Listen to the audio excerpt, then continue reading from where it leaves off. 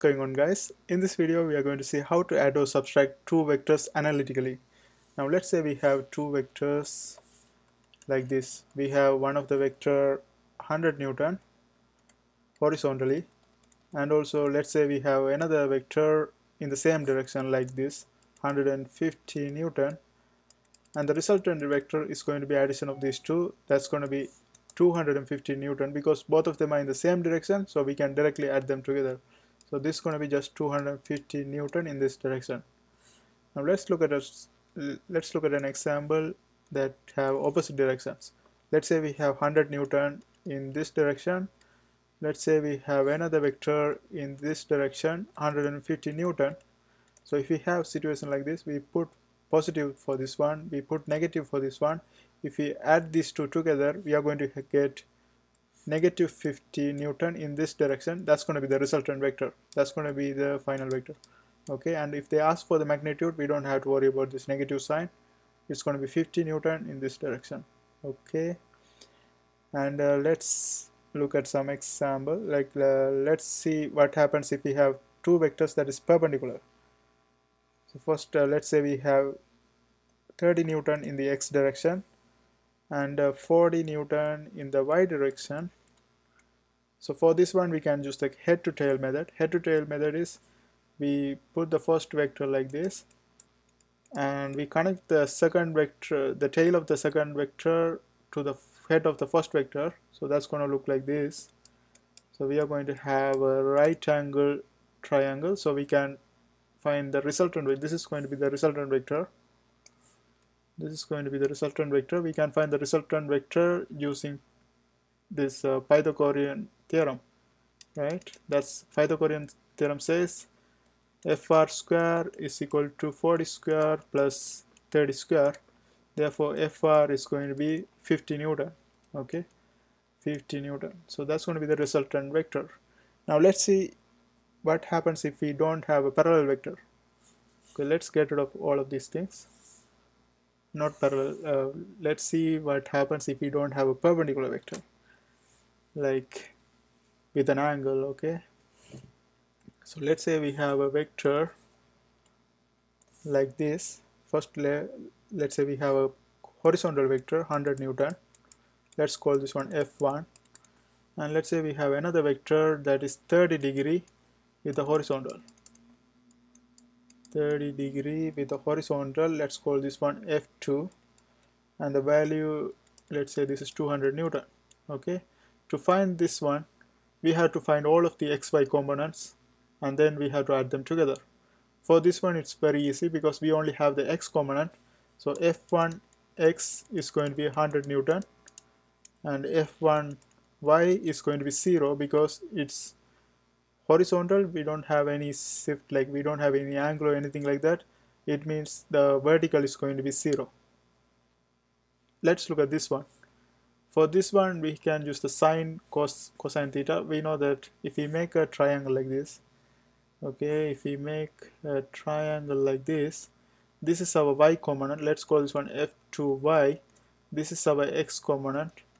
Let's call this one f2x and we can find these two things using cosine and sine theta. We know that sine theta let's look at a general example. Okay let's draw a general triangle. Okay let's say this is our force and uh, we have let's draw a triangle exactly same like this. Okay let's call this angle theta and this is our x component let's call this one fx let's call this one fy and we can find the sine theta by using we know that sine theta is equal to opposite over adjacent. So this is going to be fy over fx okay? So we can say fy is equal to f hmm, not fy over x, fx because hypotenuse right? This is our first this is our first f opposite over hypotenuse that's uh, sine theta fy over f. And cos theta is going to be adjacent over hypotenuse adjacent is fx over f. So from this one we can create an equation like this. We can say fy is equal to f sine theta. And here we can say fx is equal to f cos theta. So we are going to do the same thing here because we know that f2 value so we can find the f2y and f2x it's going to be exactly the same. Here f2y is going to be f sine theta. Here this is going to be f2 sine theta and the angle is 30 degree. So f2 sine 30 degree. And we know that f2 is equal to 200 and sine 30 is equal to half. So this is going to be 100 newton. So f2y is going to be 100 newton. And f2x is going to be like this f cos theta. Uh, here we are going to have f2 cos theta f2 cos 30 degree.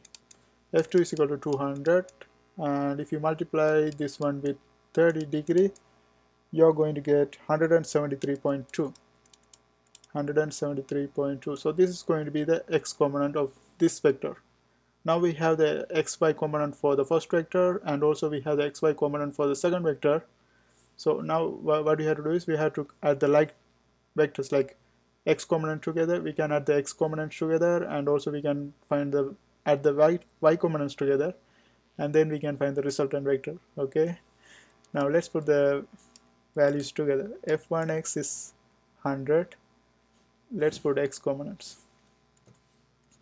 So x components for f1 it's 100 and y component is 0 for f1 for f2 x component is 173.2 and y component is 100 and the addition is going to be this is going to be 273.2 and for this one this is going to be 100 and now again we can draw another diagram for this one. From this one we know that our new x component is going to be 273.2 and then y component is going to be 100 Newton. So this 273.2 Newton this 100 Newton. And the resultant vector is going to be the final answer. That's going to be the addition of these two vectors. So let's write like this. Let's get rid of this one. Okay the resultant vector is going to be let's draw with a different color so this is going to be our FR and we can calculate the FR using Pythagorean theorem. Pythagorean theorem says FR is equal to square root of 273.2 square plus 100 square and if you calculate this one that's going to give you 290.9 Newton. And that's how we do this kind of problems. And also if you want to find this angle let's say this is theta and if you want to find the angle you can use the tan theta because we know the opposite and adjacent. We can find it using theta is equal to tan inverse fy over fx.